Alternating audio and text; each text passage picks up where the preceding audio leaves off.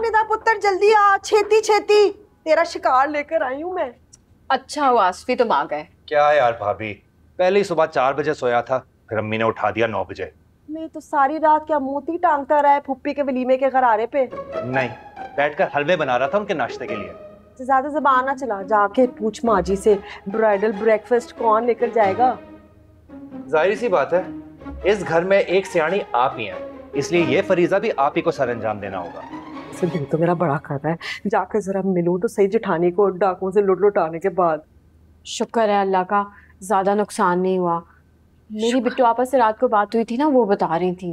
बस ये समझ नहीं आती बिट्टो की है ससुराल जाकर से पीसीओ ही खोल लिया है ये सारी तफ्तीश आप वहाँ जाके कर ले नहीं तो मैं जा रहा हूँ सोने। सियाना कहाँ ना बन जाके ट्री उठा फिर वहाँ जाकर करेंगे बल्ले बल्ले चाची और कोई चीज़ रखती है क्या? अचार और मैंगो चटनी। क्या? सलीका? बिट्टू या कुकू से बात हुई फ़ोन पर।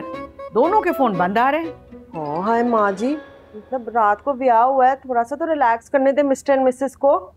भाई रात बड़ा ही अजीब ख्वाब देखा है मैंने। वो तो आना ही था। है? इतनी टेंशन में जो था पूरा टब्बर। चच्ची क्यों तंग कर रही हैं आप भी अम्मा को? आप ऐसा करें कि बी अम्मा को भी साथ ही ले जाए नाश्ते में। हाँ हाँ सौ बिस्मिल्लाह मेरे वालों पूरा मोहल्ले को लेकर चलते हैं। हाँ भाई मैं भी साथ चलती हूँ थोड़ी तसल्ली हो जाएगी। बस आप रिलैक्स करें मैं नाश्ता पैक करती हूँ। आप साथ जाइएगा। कोई गोटा छोटा हो तो वही ट्रे के कपड़ा।